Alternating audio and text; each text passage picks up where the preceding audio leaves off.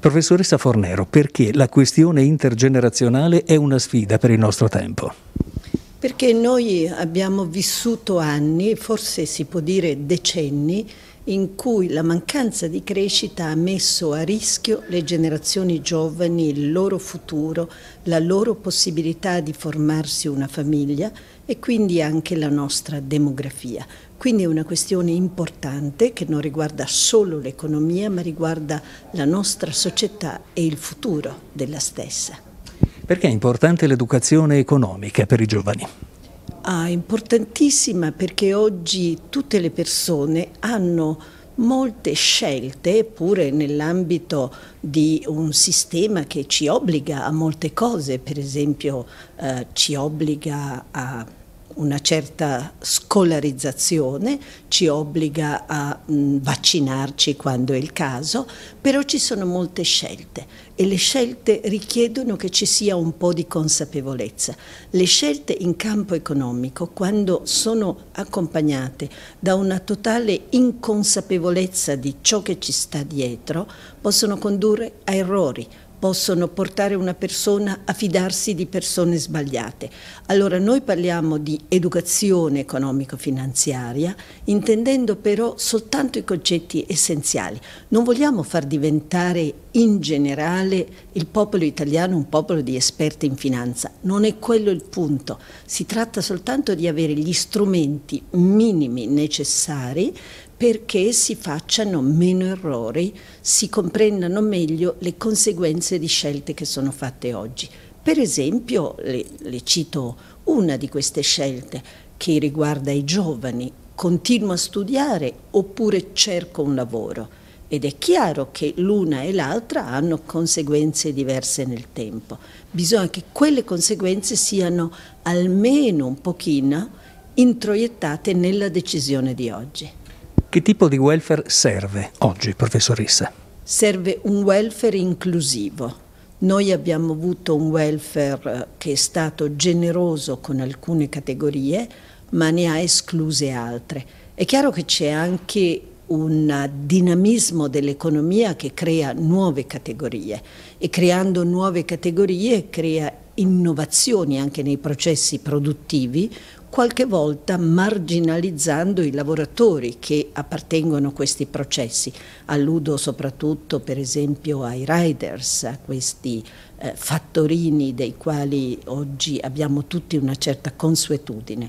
Ebbene, queste categorie nuove possono essere all'inizio scoperte rispetto ai rischi della vita lavorativa o della vita in generale. Il welfare che sia adatto a un paese diciamo, civile deve includere possibilmente tutti. Naturalmente questo non vuol dire che dobbiamo fare un welfare generoso caricandolo sulle spalle delle giovani generazioni e di quelle che verranno. Bisogna sempre considerare che il welfare deve essere equilibrato anche nei confronti delle generazioni giovani e future. Non può essere fatto solo a debito. In conclusione le chiediamo una considerazione sul Festival Trentino 2060, su questo Festival del pensiero critico. Beh, intanto il titolo è un bel titolo e questo è uno dei motivi per cui ho accettato di partecipare. Primo il fatto che me lo proponesse un giovane, un giovane che con altri giovani si è messo eh, in modo del tutto volontario a organizzare qualcosa che facesse anche spirito di comunità, che d'altronde in questa parte del paese mi sembra già molto diffuso.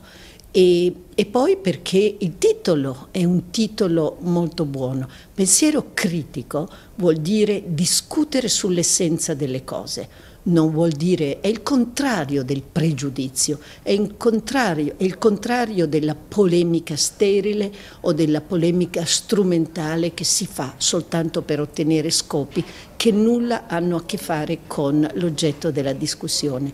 Quindi devo dire che mi complimento con questi giovani e penso che siano veramente una buona rappresentanza per il futuro del nostro Paese ma anche dell'Europa. Arnaldo D'Andrea è il presidente della Cassa Rurale Valsugana e Tesino. Presidente, perché l'Istituto di Credito Cooperativo, la banca della comunità locale, sostiene questo evento? La Cassa Rurale è felice e orgogliosa di sostenere le associazioni del territorio, soprattutto quelle associazioni che danno qualcosa in più allo sviluppo del territorio. I ragazzi di Agorà, tramite Trentino 2060, che è una manifestazione che è nata due anni fa, si sono fatti promotrici di alcuni incontri veramente importanti con dei personaggi che possono essere definiti anche particolari, ma sicuramente che hanno importanza a livello nazionale. Quindi la Cassa Rurale ha deciso di promuovere e di farsi e di essere sponsor unico di questa manifestazione proprio perché, per valorizzare questi ragazzi che sono ragazzi coraggiosi, preparati e che sono, per, sono inclini al futuro. Quindi il nostro motto che è inclini al futuro non poteva che essere associati ai ragazzi di Trentino 2060. Davide Battisti è il direttore scientifico del Festival Pensiero Critico Trentino 2060. Perché è stato organizzato questo evento? Beh, eh, diciamo che il Festival Trentino 2060 nasce per riempire un vuoto, un gruppo di giovani eh, senza un luogo sociale nel quale confrontarsi, nel, quali, nel quale condividere dubbi, ha deciso di crearlo, questo luogo sociale, attraverso inizialmente nel 2019 un ciclo di conferenze che è stato ribadito nel 2020 e poi grazie all'aiuto di Cassa Rurale Valsugana e Tesino abbiamo organizzato il primo festival del pensiero critico targato Trentino 2060. Questa è un'occasione per appunto dialogare in modo civile eh, di, delle più scottanti questioni dell'attualità per ragionare il presente ed immaginare un futuro migliore.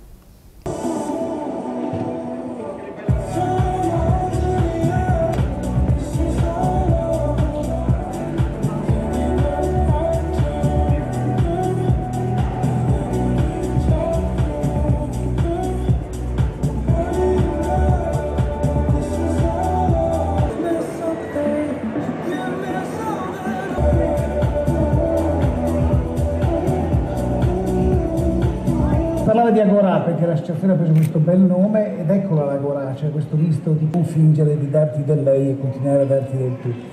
Io però parto da una cosa anomala, cioè poco fa... Ancora di più, e la distribuzione del capitale umano si è un po' polarizzata. E allora questo... Ma oggi si sceglie l'asilo nido per permettere al figlio sia un'ottica di inclusione e di estensione. Il welfare deve cominciare dalla nascita. E perché stasera? Ma abbiamo avuto una concezione del welfare di essere un po' più fortunati di quelli che erano nati per sé, ma soprattutto per i loro figli, che i loro figli fossero... E, e anche per il tempo. Un pensiero critico. Io parto, allora consentite. Ringrazio la Cassa Rurale Valsugana e Tesino come motore. Perché... È un gruppo di ragazzi che cerca, che cercava nel 2012 un luogo. Mi fa particolarmente piacere che sia finalmente arrivato il momento di dar via a questa splendida iniziativa. Cittadini e cittadine che hanno voluto essere presenti questa sera a questo primo appuntamento fatto a bordo e siamo orgogliosi di moderare questa serata. Occasioni come queste di confronto, di approfondimento. Ed attuali, con punti di vista portatori di elementi di critica e complessità. È un'occasione per allontanarci dalla nostra